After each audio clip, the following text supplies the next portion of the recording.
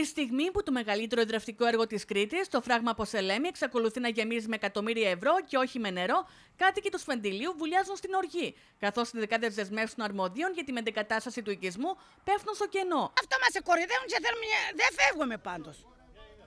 Την εκκλησία μας, τον Άγιο τον Θεόδωρο, τον Θαματουργό, δεν τον αφήνουμε.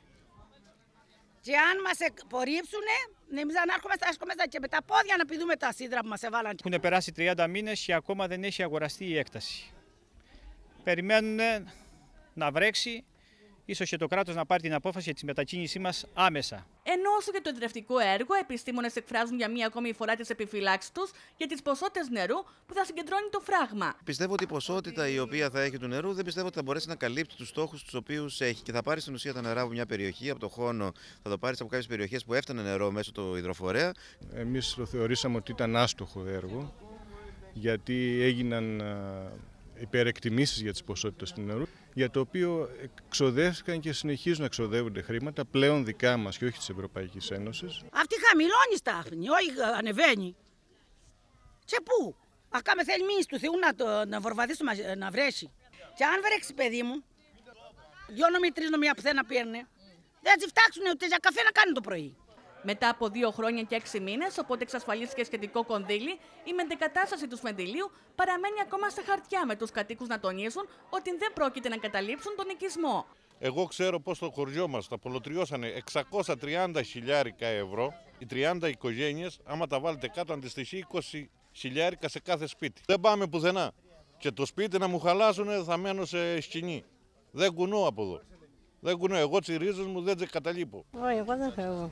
Πού να πάω; Δεν έχω άλλο, κάπου άλλο να πάω.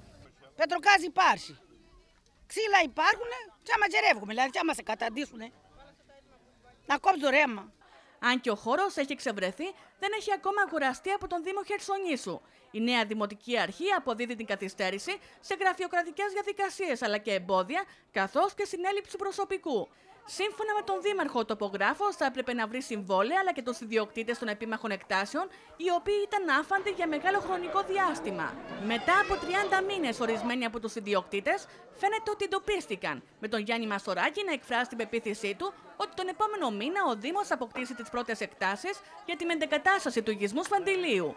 Ελπίζω ότι αν υπάρξει προθυμία προσφορών από ιδιοκτήτες των ακινήτων που έχουν κρυθεί κατάλληλα, θα υπάρξουν τα πρώτα ακίνητα του πυρήνα της έκτασης που προγραμματίζει ο Δήμος Χερσονήσου να μεταφέρει τον οικισμό Σφενδυλίου.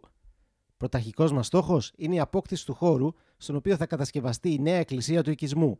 Σε επόμενη φάση, ο Δήμος θα αναζητήσει τρόπους για να συμπληρώσει τα υπόλοιπα στρέμματα που απαιτούνται για τη μετεγκατάσταση του συνόλου του οικισμού. Κοινοποίησε και ένα χαρτί η υπηρεσία που υπεύθυνη του ΟΑΝΑΚ και τους επισημαίνει ότι αν δεν αγοράσετε την έκταση δεν θα προχωρήσει η διαδικασία της μετεγκατάστασης της Εκκλησίας.